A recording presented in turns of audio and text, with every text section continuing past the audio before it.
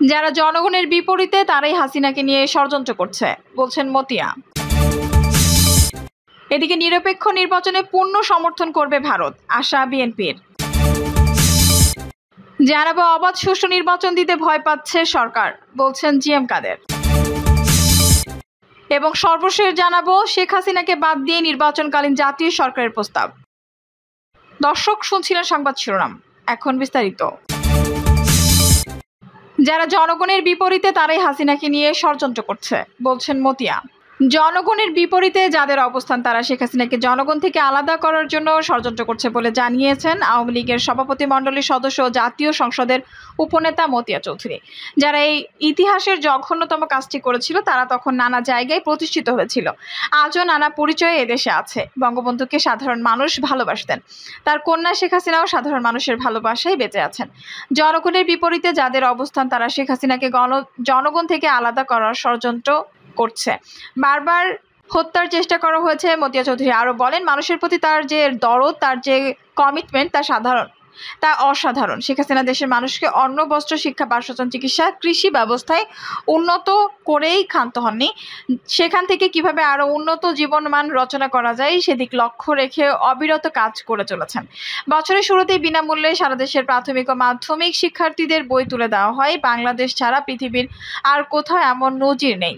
ভূমিহীন মানুষকে লাল সবুজের ঘরে আশ্রয়ন প্রকল্পের ঘরে নিয়ে আসার জন্য শেখ হাসিনার যে উদ্যোগ, তাও অভূতপূর্ব। তিনি বলেন, আমরা যারা নির্বাচন করি এবং এলাকায় মানুষের কাছে যাই, তখন লাল সবুজের ঘর থেকে বেরিয়ে মানুষ যে ভেহেস্তের হাসি দেয়, তখন মনে হয় মানুষের মুখে এমন হাসি দেখার জন্যই বোধ হয় এতদিন রাজনীতি করেছে। নিজেকে নিরপেক্ষ নির্বাচনে পূর্ণ সমর্থন করবে ভারত, আশা বিএনপির। নিরপেক্ষ নির্বাচনে ভারত পূর্ণ সমর্থন করবে বলে আশাবাদ ব্যক্ত করেছে বিএনপি। দলের মহাসচিব মির্জা ফখরুল ইসলাম আলমগীর বলেছেন, আমরা আশা করব ভারত বাংলাদেশের মানুষের গণতান্ত্রিক আশঙ্কাকে মর্যাদা দেবে। ভারত বাংলাদেশের মানুষের গণতান্ত্রিক আকাঙ্ক্ষাকে মর্যাদা দেবে। এদেশের সত্যিকার অর্থে সকল দলের অংশগ্রহণে সকলের সদিচ্ছে একটি নিরপেক্ষ নির্বাচনে পূর্ণ সমর্থন করবে তারা। আজকে ভারত যদি বাংলাদেশের মানুষের ইচ্ছার বিরুদ্ধে কোনো পদক্ষেপ নেয়, সেটা হবে অত্যন্ত দুঃখজনক। সেটা বাংলাদেশের মানুষের জন্য এবং এই অঞ্চলের জন্য শুভ হবে না বলে মনে করি মির্জা ফখরুল বলেন, উনিশশো একাত্তর সালে গণতান্ত্রিক রাষ্ট্রের জন্য যুদ্ধ করেছিলাম। সেই স্বপ্ন এই লুটেরা, ফ্যাসিস্ট সরকার, তাদের একদলীয় শাসন ব্যবস্থা পাকাপোক্ত করতে সমস্ত গণতান্ত্রিক অধিকারগুলোকে হরণ করে নিয়েছে। মানুষের ভোটের অধিকার হরণ করেছে, সংবাদপত্রের স্বাধীনতা হরণ করেছে।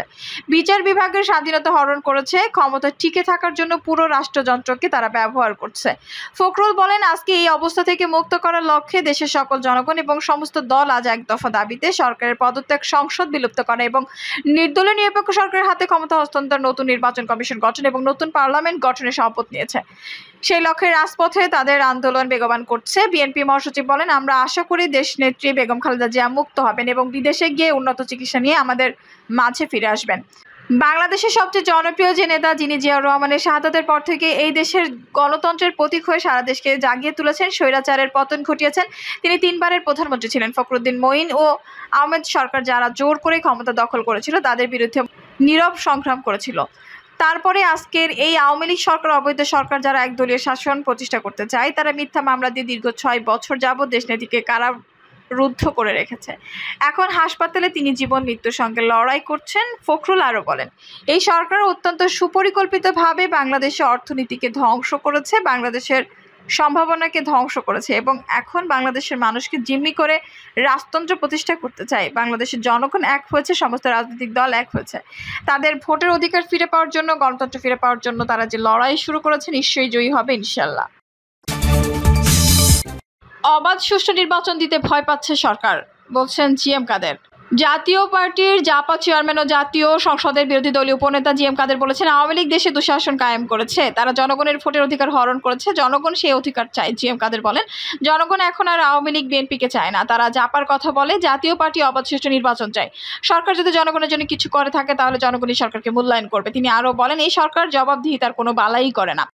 নিজেদের ইচ্ছা মতো দলীয়করণ করতে গিয়ে স্বৈরাচারী ভূমিকায় অবতীর্ণ হচ্ছে। ফলে এই সরকার এক নায়ক সরকারে পরিণত হয়েছে দেশে মুক্তিযুদ্ধে আওয়ামী লীগ একা রাজনৈতিক নেতৃত্ব দেয়নি, জানিয়ে জি এম কাদের বলেন, হতে পারে সেই রকম বড় নেতৃত্ব আওয়ামী লীগ ছিল।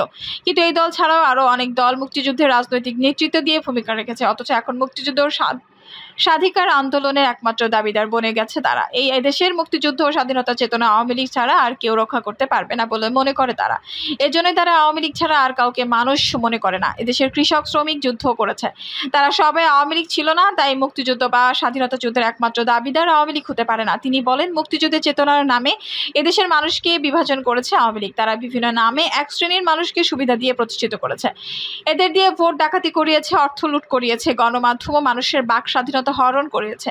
সাধারণ মানুষের এখন ভোট দেওয়ার স্বাধীনতা নাই, মুক্ত মত প্রকাশের স্বাধীনতা নাই। জি এম কাদের বলেন, আওয়ামী লীগের সাধারণ সম্পাদক ওবেদুল কাদের বলেছেন, আগামী নির্বাচন নাকি মুক্তিযুদ্ধ ও স্বাধীনতার সপক্ষের শক্তি আর বিপক্ষের শক্তির মধ্যে হবে। আমি মনে করি তিনি এটি ভুল বলছেন। আগামী নির্বাচন হবে একনায়কতন্ত্রের বিরুদ্ধে গণতন্ত্র পুনরুদ্ধারের সপক্ষে। এদেশের মানুষ একাত্তর সালে মুক্তিযুদ্ধ করেছে। বৈষম্যের বিরুদ্ধে বৈষম্য মুক্ত দেশ ও সমাজ গঠনের লক্ষ্যে আপনার মানুষ স্বাধীনতা সংগ্রহ করেছিল।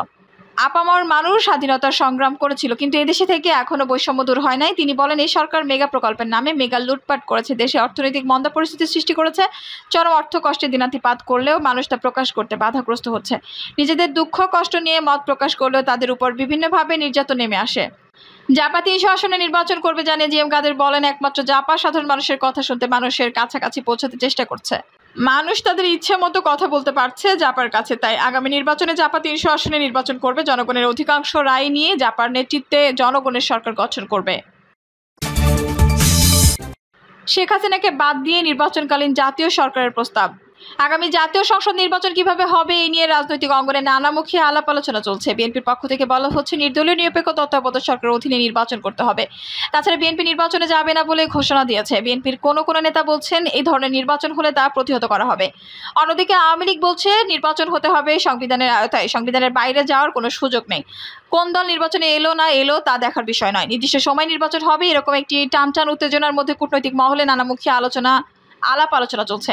তারা রাজনৈতিক দলগুলোকে একটি সমঝোতায় আনার চেষ্টা করছে। এই নিয়ে মার্কিন যুক্তরাষ্ট্র সহ পশ্চিমা দেশগুলো দফায় দফা বৈঠক করছে বিভিন্ন রাজনৈতিক দলের নেতৃত্ববৃন্দের সঙ্গে। এছাড়া কূটনীতিকরা নিজেদের মধ্যে আলাপ আলোচনা করছে আর এই সমস্ত আলাপ আলোচনায় বড় ভূমিকা রাখছে বাংলাদেশের সুশীল সমাজের একটি অংশ। যখন নির্দলীয় নিরপেক্ষ তত্ত্বাবধায়ক সরকারের দাবি উপস্থাপন করা হচ্ছে, অন্যদিকে সংবিধানের আয়তে নির্বাচন অনুষ্ঠানে পাল্টা প্রস্তাব দেওয়া হচ্ছে। ঠিক সেই সময় কূটনৈতিক পাড়ায় একটি জাতীয় সরকারের প্রস্তাব নিয়ে আলোচনা হচ্ছে। বিভিন্ন সূত্র বলছে আলোচনাটি খুবই প্রাথমিক পর্যায়ে রয়েছে। তবে এই আলোচনার প্রধান দিক হলো শেখ হাসিনাকে মাইনাস করে একটি নির্বাচনকালীন সরকার গঠন করা। শেখ হাসিনা প্রধানমন্ত্রী থাকবেন না, কিন্তু আওয়ামী লীগ, বিএনপি, জাতীয় পার্টি সহ প্রধান প্রধান রাজনৈতিক দলের নেতৃত্ববৃন্দকে নিয়ে একটি ঐক্যমত্যের সরকারের অধীনে আগামী জাতীয় সংসদ নির্বাচন করা যায় কিনা তা নিয়ে আলাপ আলোচনা হচ্ছে। এই নিয়ে একজন সুশীল সমাজের প্রতিনিধি বাংলা ইনসাইডারকে বলেছেন, এটি কোনো আনুষ্ঠানিক প্রস্তাব নয়। স্রেফ বিষয়টি নিয়ে কথা বলা হয়েছে। সম্ভবতা নিয়ে দুই একজন নেতার সঙ্গে কথা বলা হয়েছে। তাতে আওয়ামী লীগের পক্ষ থেকে নেতারা বলছেন, এই ধরনের প্রস্তাব আওয়ামী লীগ কখনোই গ্রহণ করবেন না। আওয়ামী লীগ শেখ হাসিনার বাইরে কাউকে প্রধানমন্ত্রী করে নির্বাচন করবে না। অন্যদিকে বিএনপিও এই প্রস্তাবের ব্যাপারে এখন পর্যন্ত কোনো ইতিবাচক সাড়া দেয়নি। তারা বলেছেন, এই ধরনের জাতীয় সরকারের প্রস্তাবনা বিভ্রান্তিকর। এবং অযৌক্তিক। তবে এই জাতীয় সরকারের বিষয়টি রাজনীতিতে নতুন করে তৃতীয় ধারা সৃষ্টির লক্ষ্য কিনা, তা নিয়ে কোনো কোনো রাজনৈতিক বিশ্লেষক প্রশ্ন তুলেছেন। জাতীয় সরকারের অধীনে আওয়ামী লীগের দুইজন প্রবীণ হেভিওয়েট নেতাকে রাখার কথা বলা হয়েছে, আমির হোসেন আমু অথবা তোফাল আহমেদকে। জাতীয় সরকার প্রধান করা যায় কিনা এরকম প্রশ্ন দুজন কূটনৈতিক বিএনপির একাধিক নেতাকে জিজ্ঞেস করেছেন। এছাড়া আওয়ামী লীগের প্রেসিডিয়াম সদস্য ও কৃষি মন্ত্রী ডক্টর আব্দুল রাজ্জাকের গ্রহণযোগ্যতা নিয়েও কূটনৈতিক মহলে প্রশংসা সূচক আলোচনা হয়েছে। আমেরিকার বাইরে জাতীয় পার্টির জিএম কাদের, বিএনপির মির্জা ফখরুল ইসলাম আলমগীর, ওয়ার্কার্স পার্টির রাশেদ খান মেননের নামও জাতীয় সরকারে রাখার বিষয়টি আলোচনা হচ্ছে। একজন সুশীল যিনি জাতীয় সরকার নিয়ে কূটনৈতিকদের এই আলোচনা অংশগ্রহণ করেছিলেন, তিনি বলেছেন রাজনীতিতে যাদের পরিচ্ছন্ন ইমেজ আছে, যারা বিভিন্ন দলের সঙ্গে যুক্ত হলেও সাধারণ মানুষের কাছে গ্রহণযোগ্য এবং তাদের দুর্নীতির কোনো অভিযোগ নেই। এরকম ব্যক্তিদের সমন্বয়ে একটি নির্বাচনকালীন সরকার গঠন করা যায় কিনা, এরকম প্রস্তাব একটি ইউরোপের দেশ থেকে উত্থাপিত হয়েছে, তবে এটি নিয়ে তেমন কোনো আলোচনা হয়নি। তবে বাংলাদেশ দীর্ঘদিন ধরে আওয়ামী লীগ বিএনপির বাইরে তৃতীয় শক্তিকে জাগ্রত করার চেষ্টা কূটনৈতিক মহলে রয়েছে। বিভিন্ন সময় রাজনীতির তৃতীয় ধারা সৃষ্টির চেষ্টা হয়েছিল। উনিশশো একাত্তর সালে ডক্টর কামাল হোসেনের নেতৃত্বে গণফ্রম কিংবা দু হাজার সাত সালে কিংস পার্টির মাধ্যমে বাংলাদেশের রাজনীতিতে তৃতীয় শক্তি উত্থানের চেষ্টা হয়। কিন্তু সেই উদ্যোগগুলো ব্যর্থ হয়। এটি কি নির্বাচনকালীন জাতীয় সরকার নাকি রাজনীতিতে আওয়ামী লীগ বিএনপির বাইরে একটি তৃতীয় ধারা উত্থানের চেষ্টা, সে নিয়ে প্রশ্ন তুলেছেন কোনো কোনো রাজনৈতিক বিশ্লেষক। দর্শক, এই ছিল এখনকার সর্বশেষ সংবাদ। নিউজটি ভালো লাগলে অবশ্যই একটা লাইক দিন, কমেন্টে আপনার মূল্যবান মতামত জানান। সবসময় আমাদের পাশে থাকতে সাবস্ক্রাইব করে বেল বাটনটা অন করে রাখুন। ধন্যবাদ।